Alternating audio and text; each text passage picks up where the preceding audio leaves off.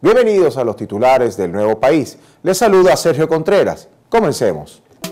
Inicia plan de racionamiento eléctrico en seis estados de Venezuela. La Corporación Eléctrica Nacional justificó la medida ante la presunta disminución de los niveles de agua en varias represas de Venezuela. El secretario general del Sindicato de Trabajadores Petroleros del Estado Falcón, Iván Freites, aseguró que en PDVSA existe una nómina fantasma en la que 31.500 personas cobran sin trabajar.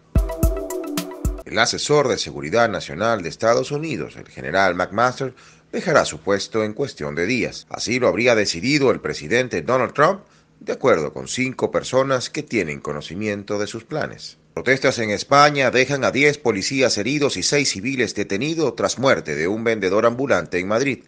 Las protestas se generaron luego de conocerse que había muerto presuntamente tras ser perseguido por funcionarios policiales. Detenido en Colombia uno de los máximos jefes de la disidencia de las FARC, vinculado al cartel de Sinaloa.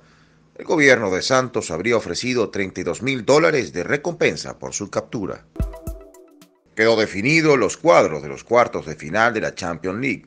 Los cruces serán entre el Barcelona y la Roma, el Sevilla y el Bayern Múnich, Juventus y Real Madrid y el Liverpool con el Manchester City. Inaugurarán retrospectiva de Carlos Cruz Diez en Alemania. El Museo de Arte Concreta de Ingolstadt mostrará la obra del venezolano a partir de este sábado 17 de marzo.